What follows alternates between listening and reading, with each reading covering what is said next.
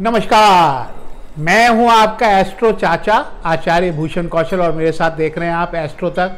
बहुत बहुत स्वागत है आपका। आज हम एक नया विषय लेकर के आए हैं, क्योंकि शुरू हो रहा है हिंदी पंचांग का नया साल। तो नया साल आपको बहुत बहुत मुबारक हो। और हिंदी का ये नया साल, हिंदी के पंचांग का नया साल बहुत ही शुभ हो। इस साल में आपके सारे काम बने, यही मैं ईश्वर से प्रार्थना करता हूँ। आपकी सारी मन की मुरादें पूरी हो जाए इस साल, आपका भविष्य उज्जवल हो जाए, जो भी अधूरी मनोकामनाएँ हैं वो पूरी हो। 6 अप्रैल, शनिवार, तिथि याद रखिए। 6 अप्रैल, शनिवार से नया विक्रम संबत दो हज़ार छिहत्तर शुरू हो रहा है। अभी 2075 चल रहा है। ख़त्म हो जाएगा 2075 पुराना साल ख़त्म हो जाएगा और नया साल शुरू हो जाएगा। नया पंचांग लागू हो जाएगा। तो इस नए साल में क्या होने वाला है? क्या आपको लाभ मिलने वाला है? क्या क्या थोड़ा सा उपाय भी करने चाहिए क्या क्या करना चाहिए, ये मैं आपको बताने जा रहा हूँ। तो पहले तो इस नए साल का नाम है परिधावी। क्या नाम है?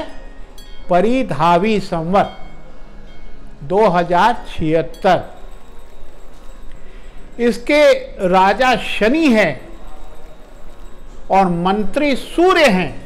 हो गया ना कमाल उलट फेर ग्रहों का। शनि जो पुत्र है, वो तो राजा बन गया। और जो पिता है सूर्य, वो मंत्री बन गया, उसके अधीन आ गया। सारा उलटफेर हो गया ग्रहों का। और जब ग्रहों का उलटफेर होता है तो आपके जीवन में भी परिवर्तन आता है, उलटफेर होता है। तो ये जो संवत है, यह क्या क्या करेगा? और इसका मतलब क्या है? और क्या आपको लाभ मिलेगा? इस पर चर्चा करेंगे पहला पहला दिन प्रतिपदा तिथि 6 अप्रैल शनिवार से संवत शुरू है, इसलिए शनि इसका राजा है। अब शनि जब राजा होता है तो क्या क्या होता है? किन किन चीज़ों से आपको सावधान रहना है? नए संवत परिधावी में, दो हज़ार छिहत्तर में शनि आपके खर्चे बहुत बढ़ा सकता है। सावधान रहने की ज़रूरत है। लड़ाई झगड़े मुकदमे करवा सकता है, सावधान रहने की ज़रूरत है। आपके काम थोड़े स्लो हो सकते हैं, सावधानी रखने की ज़रूरत है। और आपको क्या सावधानी बरतनी है, झूठ बिल्कुल नहीं बोलना है, क्योंकि शनि न्याय के देवता भी है। आप झूठ बोले और गए। आपने बेईमानी की और आप गए। आपको ये पूरा साल ईमानदारी, सच बोल के, सच्चे रास्ते पे गुजरना है। जो व्यक्ति गलत करेगा शनि उसका बदला लेके उसको डुबा देगा। अन्याय नहीं कर सकते। आप गरीबों का पैसा हक नहीं मार सकते, किसी का हक नहीं मार सकते। आप महिलाओं पे अत्याचार नहीं कर सकते। आप किसी भी छोटे गरीब इंसान पे अत्याचार नहीं कर सकते। लाचार, मजबूर इंसान, विकलांग इंसान पे अत्याचार नहीं कर सकते। अगर करेंगे तो आपका नाश हो जाएगा। बहुत ही खतरनाक संवत है ये। तो आपके लिए कहा गया है कि सूर्य जो उनके पिता वो भी कुछ नहीं कर पाएँगे, क्योंकि वो भी उनके अधीन आ गए। तो ये इस संवत का मतलब है, इसमें क्या क्या करना चाहिए? सबसे पहले पहले दिन आप पूजा पाठ अवश्य करें। शनिदेव की पूजा पाठ करें, घर में भी पूजा पाठ कर सकते हैं। और इस नए साल में क्या क्या करना है? देखिए, पहली चीज़ है, काली उड़द की दाल और चावल की खिचड़ी बना करके अचार के साथ, सब्ज़ी के साथ दान करें। नारियल का दान करें। मंदिर में नए पंचांग का दान करें पंडित जी को। पंडित जी को धोती का दान करें। पंडित जी से आशीर्वाद लें। और किसी भी लाचार गरीब व्यक्ति को भोजन कराएँ। भोजन करा के और उसके बाद उनका आशीर्वाद लें, दुआ लें उसकी। यह आपको करना पड़ेगा। तब जाकर के साल में कोई संकट आपके ऊपर नहीं आएगा। सब कुछ अच्छा होना शुरू हो जाएगा।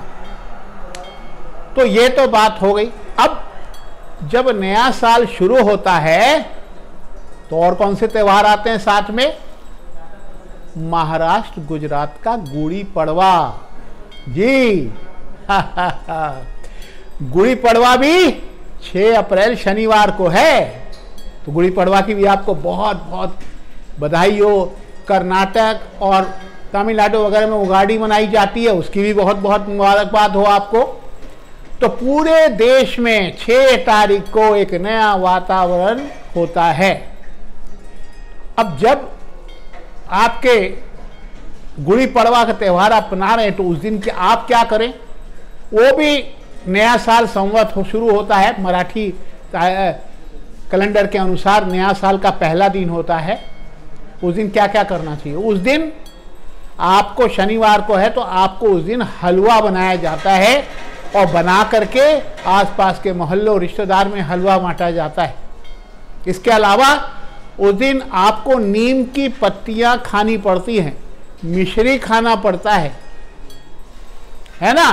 और सुबह तेल लगा के स्नान किया जाता है ऑयल बाथ तेल लगाकर स्नान किया जाता है। तो गुड़ी पड़वा की भी आपको बहुत बहुत बधाई हो। नया साल आपका भी बहुत अच्छा जाए। आपको भी वही उपाय करने हैं, जैसे हिंदी का नया साल कैलेंडर का शुरू हुआ, ऐसे ही आप भी उपाय कर सकते हैं। और उगाड़ी का भी उपाय वैसे ही कर सकते हैं। लेकिन अब नया साल शुरू हो रहा है तो और भी बहुत सारी चीज़ें होती हैं। वो ये होती हैं कि आप नए नए वस्त्रों को खरीद सकते हैं। घर में कुछ नया काम कर सकते हैं। आप नई गाड़ी, नया मकान ले सकते हैं। बड़ा शुभ मुहूर्त होता है। क्योंकि उसी दिन से पहला चैत्र नवरात्र शुरू होता है। बोलो भाई, दुर्गा माता की जय। तो माता दुर्गा चैत्र नवरात्रों में पधार रही हैं। माँ करेगी सबका कल्याण। तो चैती नवरात्र की भी आपको बहुत बहुत बधाई हो। तो और इस बार जो है माता आ रही हैं आपके जीवन में बहुत बड़ी सफलता लेकर के। नौ दिन तक नवरात्रि मनाई जाएगी और नौवें दिन होगी आपके विजय का पर्व रामनवमी। जी। तो 6 अप्रैल से सारे सिलसिले पर्व त्योहार के शुरू होते हैं। नवरात्रों की जो लोग व्रत रखना चाहते हैं, माँ देवी की पूजा पाठ करना चाहते हैं, जो घट स्थापना करना चाहते हैं, घट स्थापन करने का मुहूर्त सुबह छह बजे से लेकर ग्यारह बजे के बीच में है। जो माँ दुर्गा के अखंड ज्योत की स्थापना करना चाहते हैं, वो कर सकते हैं, व्रत रखना शुरू कर सकते हैं, वो कर सकते हैं। तो चैती नवरात्र जो है, पंद्रह तारीख तक चलेगी, नव रामनवमी आएगी, उसके बाद तो रामनवमी का त्यौहार, विजय का त्यौहार है, और आपकी सारी मुश्किलों, समस्याओं पर आपको विजय प्राप्त होगी। तो इसलिए 6 अप्रैल से तैयारी कर लीजिए नवरात्र की, और आप उसके लिए मैं पहले से एडवांस में बता रहा हूँ। आपको सारी बातें बता दी हैं। नवरात्र में माता के लिए एक माता की मूर्ति या फ़ोटो, एक कलश, एक और कपड़ा और आपके लिए, और चौकी वगैरह खरीद लीजिए, है ना? कलश पे इंतज़ाम कीजिए, क्या? कलश में जल, गंगा जल, अंदर पान सुपारी ऊपर से आम का पल्लव, ऊपर से लाल कपड़ा लपेट कर नारियल रखना है, उसकी स्थापना करनी है। अखंड ज्योत जलाना है, जो नौ दिन तक जलेगा। और खेतरी बीजना है तो वो भी बीज सकते हैं, जैसे नवरात्रों में करते हैं। वो शारदीय नवरात्र होते हैं। जो हम अक्टूबर, सितंबर, अक्टूबर में मनाते हैं, वो शारदीय नवरात्र होते हैं। और ये जो नवरात्र हैं, ये चैती नवरात्र होते हैं। ये दो प्रकट नवरात्र होते हैं, जिसमें प्रकट होकर मनाया जाता है, और दो गुप्त नवरात्र होते हैं, जो गुप्त रूप से मनाया जाता है।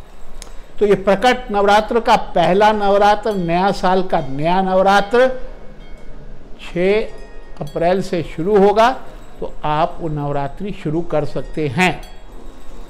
और माता दुर्गा जो है, अन्याय का नाश करने के लिए, क्योंकि शनिवार से है और शनि न्याय के देवता हैं, इसलिए अन्याय का नाश करने के लिए आ रही हैं। आपके दुश्मन, आपके विरोधी सब शांत होकर बैठ जाएँगे अगर आपने नवरात्रों की पूजा करी।